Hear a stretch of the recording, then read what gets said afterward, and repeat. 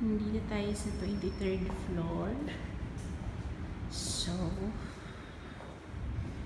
ito yung stairs going up. Ito yung garden. Facing Araneta.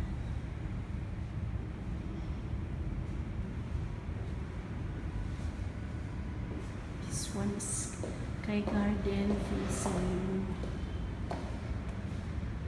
Antipolo.